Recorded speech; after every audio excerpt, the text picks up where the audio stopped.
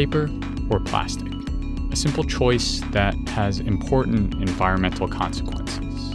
It can be hard to know for sure which one has a smaller impact. And because plastic bags are such a presence in everyday life, it can be easy to overlook the damage they cause. Today, we are going to look at the environmental impact of plastic bags as well as the alternatives in order to understand what kind of choices we have as consumers in an environmentally unethical system. The first plastic, Bakelite, was originally invented in 1907, but it wasn't until the 1960s that plastics, specifically polyethylene, became cheap and efficient to make. Just one word. Yes, sir. Are you listening? Yes, I am. Plastics. Soon after the 1960s, plastic bags exploded in popularity because it was marketed and made as a single use product. Their cheap manufacturing costs allowed them to become the default choice at supermarket checkout counters. But the problem is, the cheap price doesn't account for the environmental costs of using plastic bags. According to a study conducted by the English Environment Agency, resource extraction and raw material production account for 60% of the environmental footprint of plastic bags. In other words, 60% of the bag's environmental impact happens before we even put our groceries in them.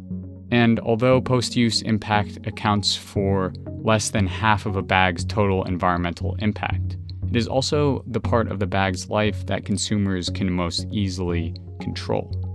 It's estimated that the US alone throws away 100 billion plastic bags annually, only a fraction of which gets recycled.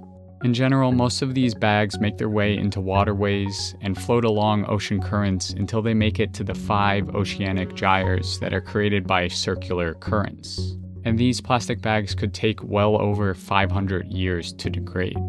The bags don't maintain their original shape, however. Instead, they slowly break down via sun, water, and microbial erosion into smaller bits called microplastics, which can be fatal to marine life. Considering the adverse effects of plastic bags, it would make sense then to buy a cloth reusable bag or opt for the paper bag, right? Well, the answer isn't so simple. In the same study by the English Environment Agency, they found that the real environmental cost of a bag, whether plastic, paper, or cloth, is heavily rooted in the production side of the product.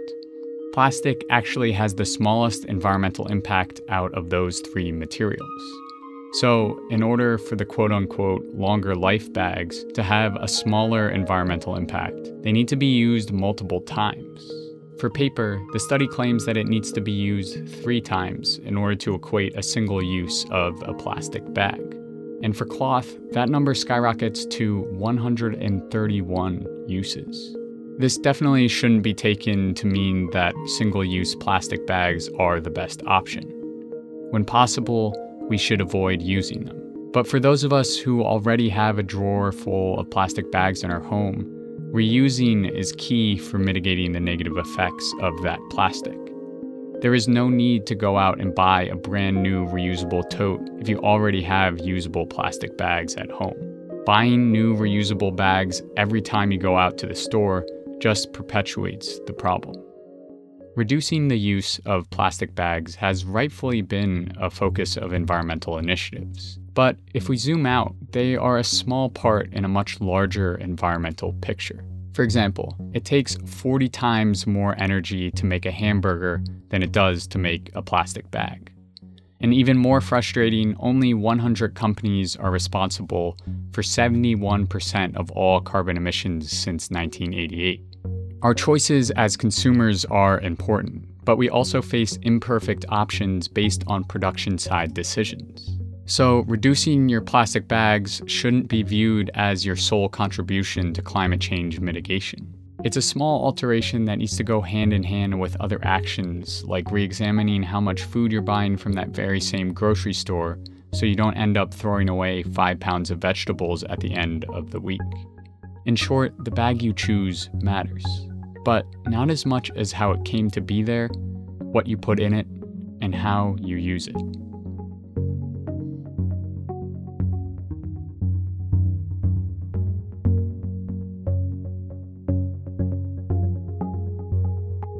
Thank you so much for watching.